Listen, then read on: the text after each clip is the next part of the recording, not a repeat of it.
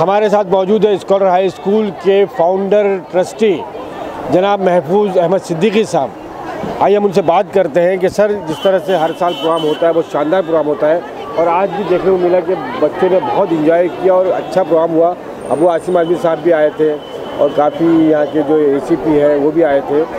और हम ये देख रहे हैं कि बिल्डिंग की तामीर का काम जारी है। इस बारे में आप क्या कहना चाहिए इतना बड़ा काम आपने निकाला है। देखिए ज़रूरत जो होती है ना वो कहते हैं ईजाद की माँ है।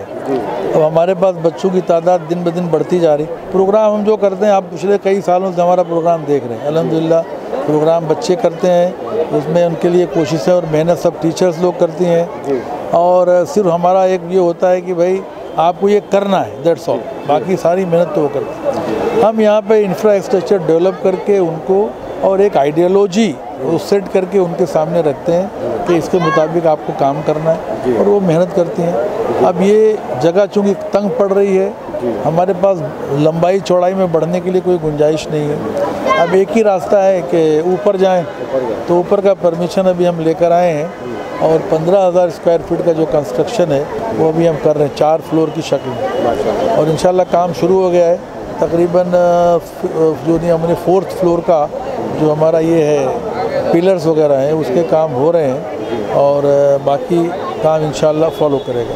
इतना बड़ा काम है और इदारे की तोसी हो रही है इसमें सरमाया भी बहुत लगेगा। तो आपको जो साहिब सरवत हजरात जो है हमारे हैं उनसे कोई अपील करना चाहेंगे आप? जी बिल्कुल हमने अपील भी की है ज़बानी भी की है मुलाकात करके भी की है और आपके इस मीडिया के थ्रू भी मैं कर रहा हूँ। अगर इन वो कोशिश करें मेहनत करें और कुछ हमारे इसमें मरहमत फरमाएँ कुछ हमें देते हैं तो ये उनके लिए आखिरत का सरमाया होगा और हमारी न- ये मौजूदा और आइंदा नस्लें इससे इस्तेफ़ादा उठाएँगे इंशाल्लाह फ़ायदा उठाएँगे तालीम हासिल करेंगे सही नहज पर तालीम हासिल करेंगे। हमने जो है ना वो एक दौर देखा जबकि सारे लोग इंग्लिश मीडियम स्कूल की तरफ़ भाग रहे थे लेकिन हमारे पास मुसलमानों का कोई ऐसा इंस्टीट्यूशन नहीं था।